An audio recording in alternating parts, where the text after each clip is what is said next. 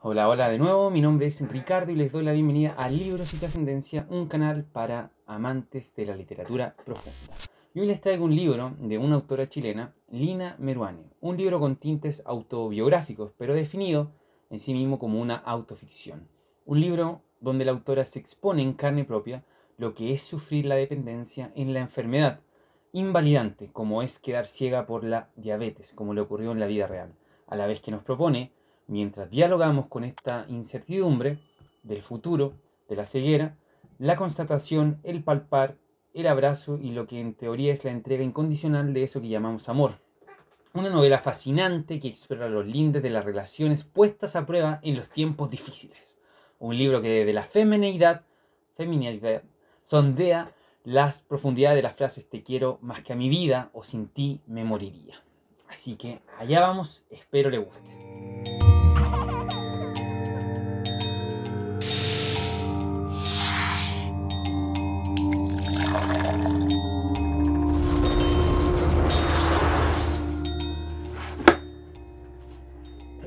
Integrante de la familia. Ahí está mi Okoge-chan. Okoge. Uy, más Ya, ¿dónde está la mierda?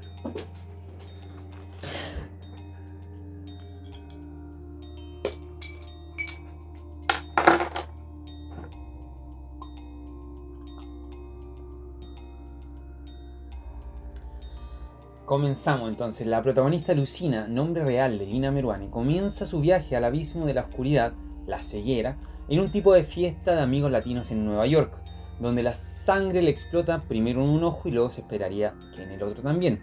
Esta sangre pareciera ser interna de los coágulos cercanos a la córnea, por lo tanto invisible al ojo extranjero. Ella le exige a su pareja, a su novio, irse de inmediato, pero él se resiste con timidez, haciendo preguntitas como ¿y es mucha la sangre? ¿y por qué no esperamos a que se muera la fiesta en vez de matarla nosotros mismos? Ahí de inmediato ese, ese elemento de la novela, el error enrostrado entre paréntesis, la intención no adivinada, la recriminación por no usar la telepatía, el eterno pecado de la pareja que como un mito del eterno retorno mundial omnipresente se repite y se repetirá en todos nosotros. Entonces dice así, Ignacio comprendería la situación de inmediato, sin la necesidad de decirle, sácame de aquí. ¿Por qué estás tan seria? Oh, me salió como argentino y gallego. Bueno, oír su voz trizó mi compostura, la lanzó al suelo mientras añadía, ¿por qué tienes esa cara? Y me oí diciendo, Ignacio, con voz de canario, Ignacio, triné, Ignacio, estoy sangrando, esta es la sangre y es tan oscura, tan condenadamente espesa. Pero no, no fue eso lo que dije, sino creo que volví a sangrar. ¿Por qué no nos vamos? Irnos, dijo él. Dijiste tú, Ignacio. Eso dijiste, aunque ahora lo niegues, y luego te quedaste mudo.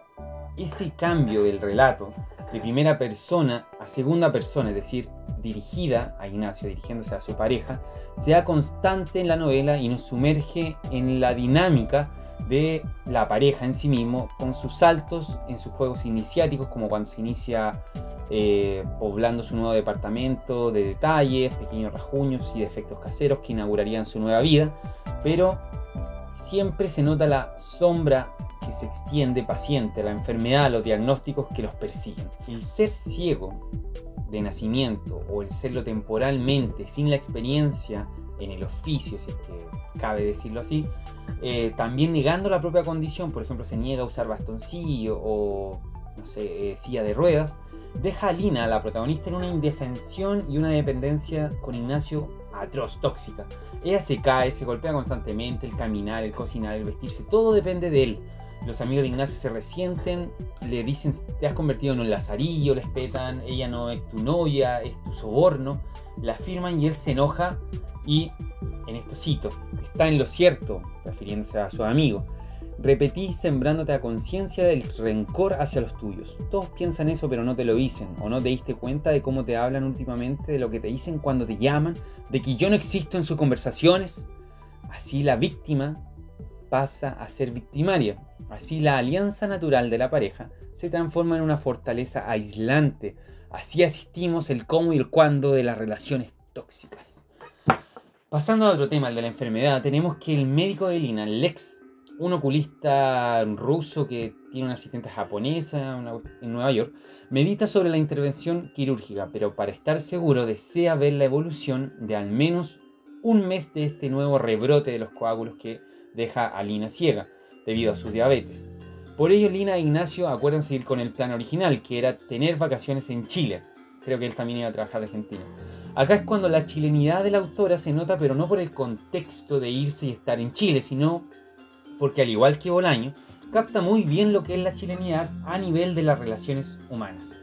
Cito para darme a entender, desde Chile empezaron a repetirse las llamadas de teléfono con tarjeta cobro revertido, llamadas insistiendo en que adelantara mi vuelo, que me operara allí donde ellos, que eran la familia, ese turbulento clan de origen mediterráneo, armado de amor hasta los dientes, donde ellos, todos juntos o alternándose en turno, pudieran hacerse cargo, acompañarme al quirófano si fuera necesario, darle instrucciones a los especialistas, asesorarme en la convalecencia.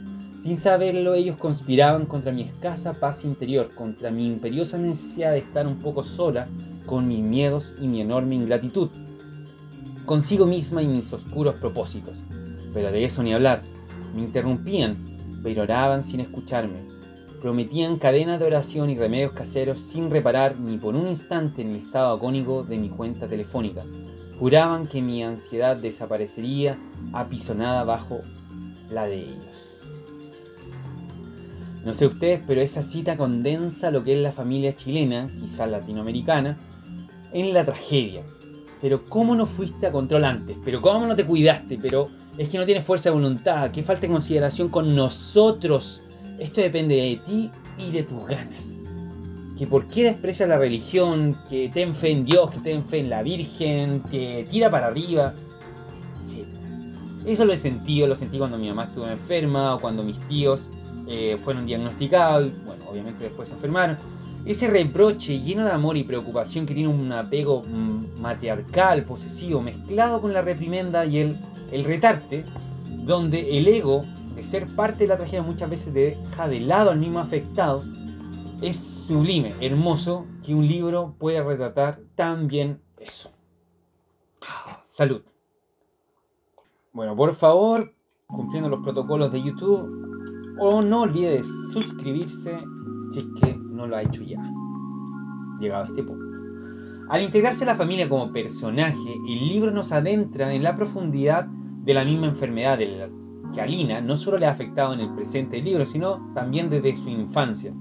Su hermano, en una foto de, la infancia que ella más o menos ve, eh, está insomne, poseído, arrinconado, débil, y nos relata un episodio de su infancia y cómo él con sus padres tuvieron una conversación que quizás ella escuchó.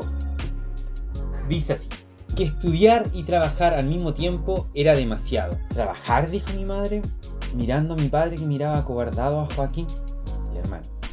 Les estaba presentando su renuncia y ellos la aceptaron porque no tuvieron valor para obligarlo a ser mi padre y mi enfermero y mi inspector en el colegio, además de tener que ser mi hermano cuando él ni siquiera me había elegido.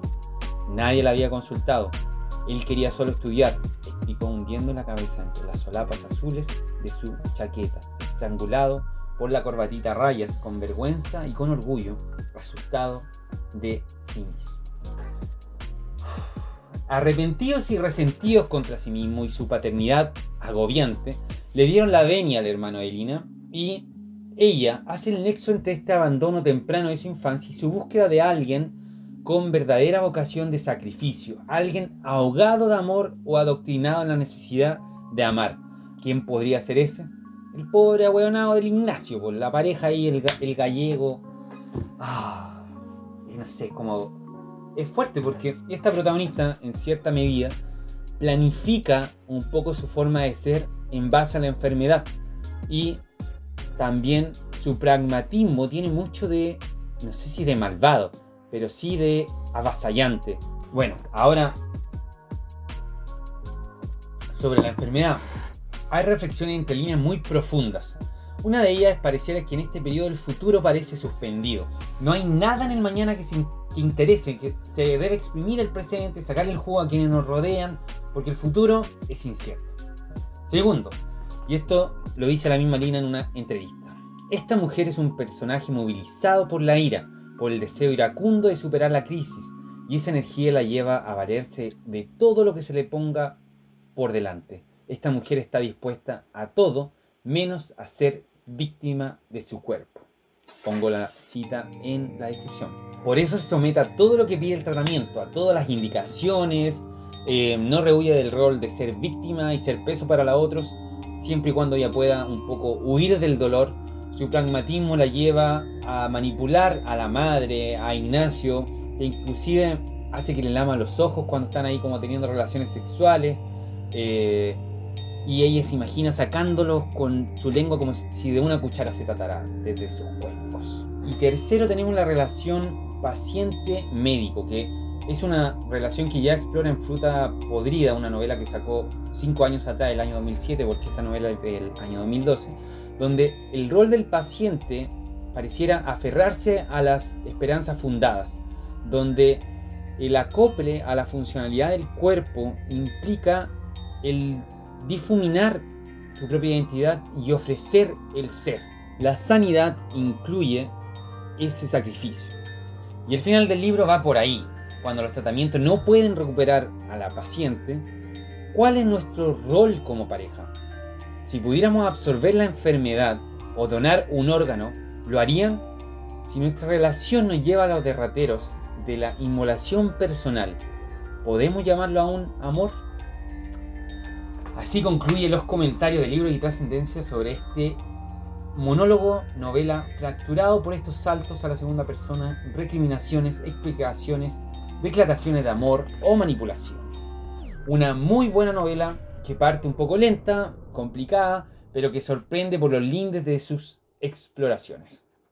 Muy recomendada también esta autora chilena, no es la primera novela que leo de ella, me gusta mucho eh, y cuida mucho de sus chilenismos, a pesar de que vivía en Gringolandia y tengo una infancia dividida.